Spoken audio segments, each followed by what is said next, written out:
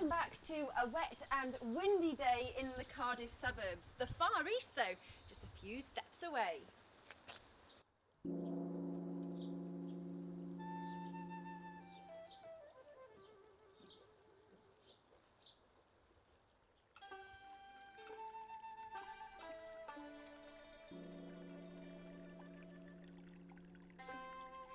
This is the first year this Japanese style garden has opened its gates for the National Garden Scheme.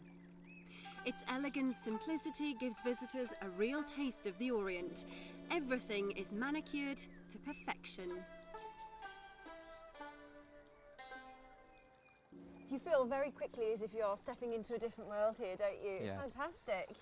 Yes, um, as you can see, we got the hill here and it's running down Yeah. through the mountains, the river, and over the bridge. And then eventually the water then it runs into the sea. So Which it- um, the it pond is a bridge? It's, it is a bridge, yes. So it's, it's a landscape in a sense. it's a then. landscape, yes, very much so. And I mean, I suppose at first glance, you might say, well, there are stones, there are rocks. Mm. I get the feeling that everything here has a purpose and is meant to be exactly where it is. That's right. These stones, these stepping stones, what they call tobi-ishi, they're all set down so they look natural, that they've been there for forever, if you like. Bernard, tell me about the posts in your pond. basically it's where you would tie up your boat because the pond represents the sea. So this is an area where we would be close to the to, to, to the land where you would tie your boat up. Right. And of course the three different levels is um, the highest one represents being connected to the universe and the, the middle one here is is is man, if Mm. you like, and then the, the, the shorter one is is more grounded, it's, it represents the earth. I noticed there are certain numbers of things three posts, five stones. Significant numbers for what reason, Bernard? with the Japanese um, Japanese mythology, Japanese life in general. Uh, three, five, sevens, they're lucky numbers.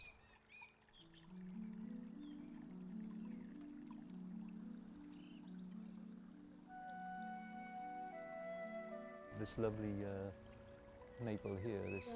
Palmatum Inazuma, Good it's got gosh. seven lobes. Bernard was inspired during a trip to Japan by the gardens he visited in Kyoto. But it's taken him many years to create that same tranquility in his own garden. Initially it was just lawns, um, a huge Leylandia up in the corner where the tea house is, um, a laburnum. Um, that was basically it. A pretty average garden. Pretty average garden, yes. That tea house is quite spectacular, isn't Yes, it? yes, it's, uh, it, is, it is quite something. mm. Do you use it much? Um, I do, but I should use it more often. And what do you actually use it for? I go in and uh, practice uh, Qigong, which is a Chinese breathing exercise, meditation. Um, my wife uses it because she practices yoga, and I practice yoga myself. So Your garden obviously reflects your sense of passion for all things Japanese. Aikido plays quite a big part in your life. yes, it does. Yeah, for the last 40 years, teaching and training.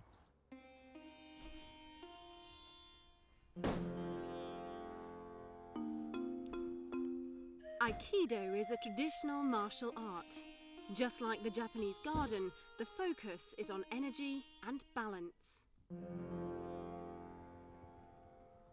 And that really didn't discover Japanese gardens till I was in my early 30s. I picked up a book and looked, and I thought, wow, there's something, there's something here that's special.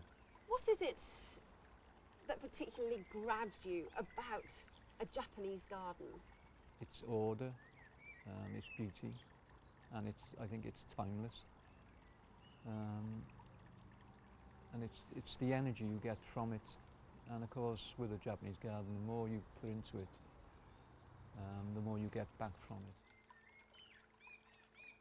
How do you know that you've got it right? Is it a feeling? I think it's years of planting, arranging stones, which sometimes I've been out here all day and uh, Linda's come home from work and she said, what have you done? I said, well, I've moved one stone into position today because It's getting it right. It's, it's not just, you don't just put plunk things anywhere. Everything's got its place. What I've done over the years, I've taken stuff out because Right. initially I planned it too much and then it just didn't feel right. The energy was Mm. wrong. Um, and as they say, the saying, less is more. Um, more tea water house. again.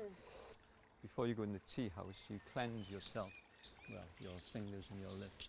You're ready then to enter into what they call the world of tea. And you do that each and every time you go in. That's right.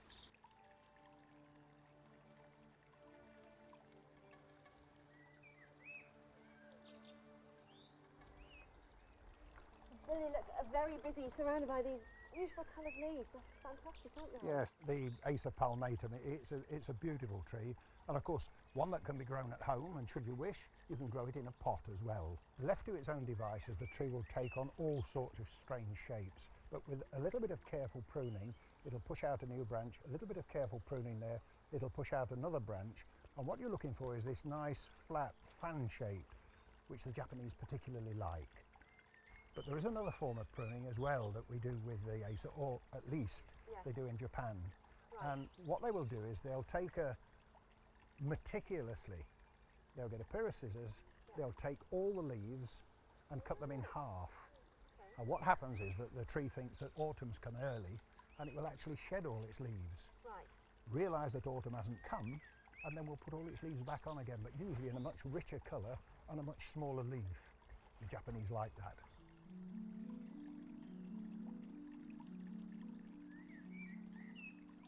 Another um, interesting looking specimen here, this time with a, a stone hanging from the branch. What's the, the, the meaning here?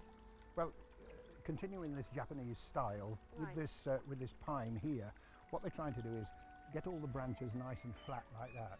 Branches don't grow like that naturally, so we need to pull them down into the right place. So what we do is we tie a piece of cord on, and then on the bottom of the cord hang a stone that'll keep this branch in the right position. And you may say, well, goodness me, how many times do you have to tie a stone on there to Yes. make sure you've got the right position? Yes. It's much easier than that.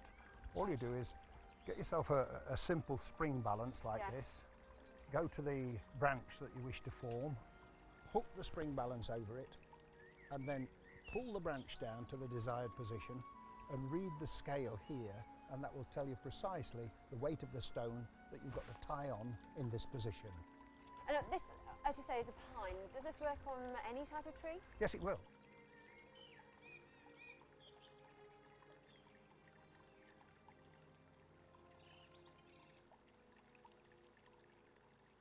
One of the major differences between this garden and some of the more traditional types, I suppose, is the lack of colourful flowers, if you like. But there is this rather lovely purple and yellow flower. Tell me a bit about this. Well, in a traditional uh, Japanese garden, they'll have the plum and the cherry flowers first, which then go, and they're replaced with the iris. Well, we're back to the three, fives, and sevens again. And if you look at this iris, you'll see three elements. There's the outer part of the flower, three of them, the inner part, three of them, and then these intermediates here, or the styles of the flower, there are three of them. Favoured conditions? Um, keep them watered. That's about the only thing. No trouble with that today then.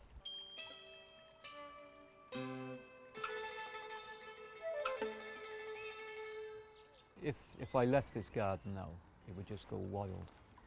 Um, and a lot of people say to me, is it maintenance free? And it, it, it certainly isn't. It's, it's a lot of work.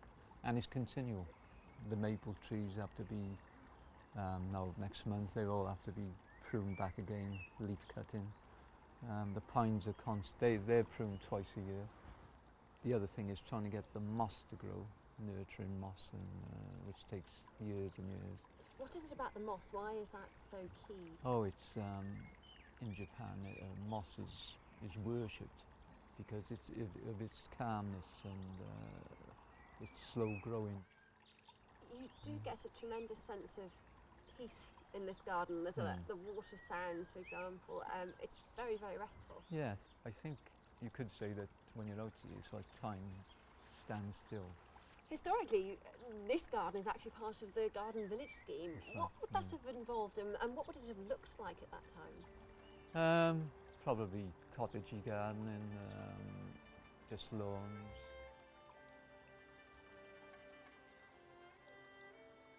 There's an old Chinese um, saying that uh, your life begins when you start gardening.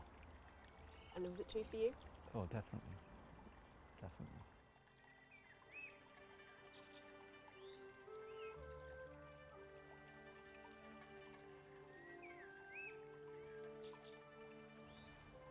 Well, Bill, I think it's safe to say we've come to the end of our travels for tonight. A truly international flavour. Yes, a shame the weather couldn't have been perhaps a bit more exotic. Well, typically Japanese, I'm told.